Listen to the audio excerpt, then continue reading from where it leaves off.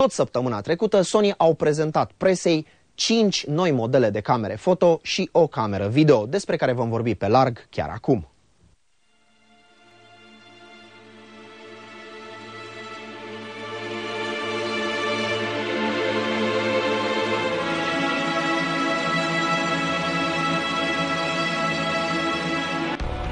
Alpha 77, Alpha 65, Nex 7, Nex 5N, VG20, muzica sferelor pentru urechile cunoscătorilor, curiozitate măcar din partea tuturor celorlalți. Pentru că, așa cum am spus mai devreme și cum bine vedeți, sunt atât de multe modele noi și pentru a nu transforma puținul timp pe care îl avem la dispoziție într-un pomelnic de date tehnice și cifre, am decis să construiesc acest material doar din amintiri, adică din ceea ce rămâne ca relevant, notabil în memorie. Așadar, abordarea va fi una mai degrabă impresionistă decât exactă, însă în mod sigur vom reveni cu recenzii detaliate atunci când aceste camere vor fi disponibile pe piață pentru a fi testate amănunțit. Nex 5N, așa cum îl arată și numele, este un Nex 5 upgradat. Senzorul Exmor de 16 megapixeli față de 14 la Nex 5, precum și procesorul Bions de generație nouă împing ISO-ul până la 25600 în boost. Filmarea se realizează în format AVC HD 2.0 Full HD la 25 sau 50p, cu control manual asupra focusului și expunerii.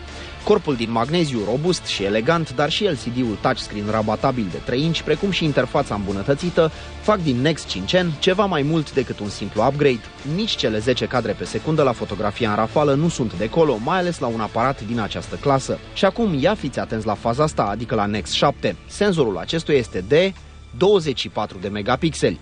Este fără îndoială cel mai mare senzor instalat vreodată pe un aparat din această categorie. Uluitor, uluitor. Am fotografiat cu această cameră, iar nivelul de detaliu la ISO 100 este din alt film.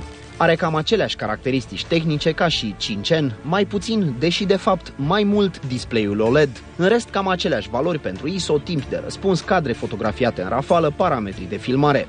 În ceea ce privește optica pentru întreaga serie NEX, producătorul Nippon spune că până la sfârșitul anului ar putea fi disponibile în total numai puțin de 10 obiective.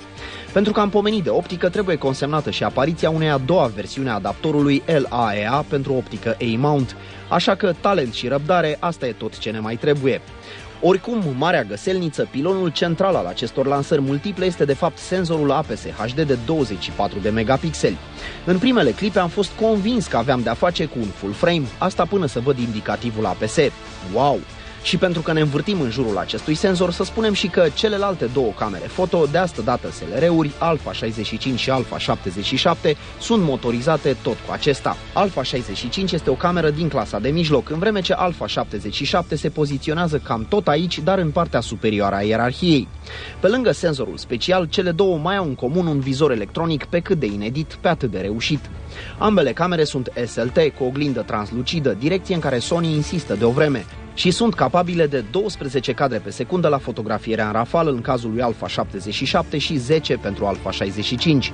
Alpha 77 vine cu un sistem de 11 puncte în cruce pentru autofocus și ambele dispun de display-uri OLED.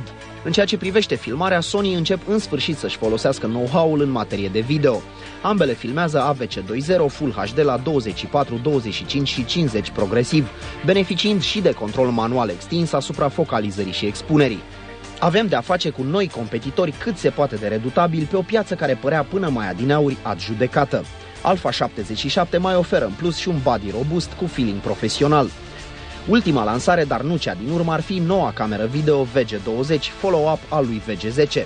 Cameră la care eu unul mi-am permis să nu prea dau pe spate. Senzorul este unul nou de 16 megapixeli, probabil cel de pe Nex 5N, și profită și ea de extinderea gamei de obiective E-mount destinate întregii serii Nex. În rest rămâne cum am stabilit la VG10, același meniu cartoonish și aceeași confuzie în ceea ce privește publicul țintă prea puțin ofertantă pentru profesioniști, prea scumpă și complexă pentru amatori. Are totuși 25 și 50p, 24 nici acum.